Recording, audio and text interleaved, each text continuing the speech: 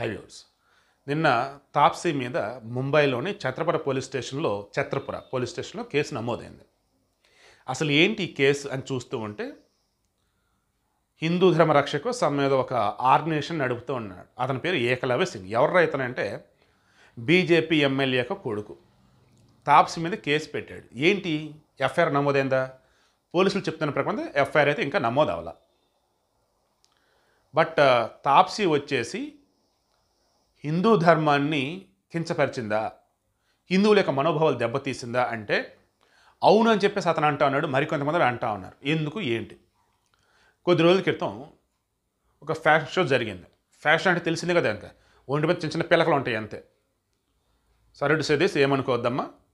పైన వచ్చేసి బ్రష్ దగ్గర నిపిల్స్ కనిపించకుండా మేనేజ్ చేయటం బాటమ్ వచ్చేటప్పటికి సెన్సిటివ్ పడ ఆర్గాన్స్ ఏవైతే అవి కనిపించకుండా మేనేజ్ చేయటం అంతే. ఇక ఏమైనా మొత్తం ఇప్పేసుకొని తిరిగేయటమే. క్యాజువల్ అంటే ఇంత దరిద్రంగా తయారవుతూ ఉన్నాయి. గతంలో ఒకలాగా ఇప్పుడు ఇంకా దరిద్రంగా తయారవుతున్నాను మరలా గతంలో మోడల్స్ వాళ్ళు ఇల్లు తెలిసిన వాళ్ళు తెలియని వాళ్ళు ఉండాలి ఇప్పుడు అలా కాదు. అంతటి బాగా ఫెమిలియర్ ఉన్నటువంటి పర్సన్స్. అలా ఈ తాప్సీ కూడా పైన అసలు అలా ఉళ్ళంతా కనిపించేటట్టుగానే ఉంటూ పైన మెడలో ఒక నెక్సెస్ లాంటిది పెట్టేసింది. అందులో ఈ లక్ష్మీదేవి కనిపిస్తూ లాకెట్ లాంటిది. కొంచెం పెద్దగా వెనకాల అటాచ్ చేసి చూడండి. అక్కడ ఈమె వ్యవహరించిన విధానం ఆమె యొక్క వస్త్రధారణ. ఏ మాత్రం కూడా సభ్యతా సంస్కృతం కూడి లేవు. అశ్లీలంగా ఉన్నాయి. అశ్లీలంగా ద వేషధారణలు ఉన్నటువంటి ఈమె మేము ఎంతో పవిత్రంగా భావించే లక్ష్మీదేవిని మెడలో ధరించి అది కూడా ఆమె బాడీ పార్ట్స్ కప్పుకోవటానికి ఉంది తప్ప వేరేది కాదు. ఏంటి అసలు ఇంత ఘోరంగా ఇంత అశ్లీలంగానా?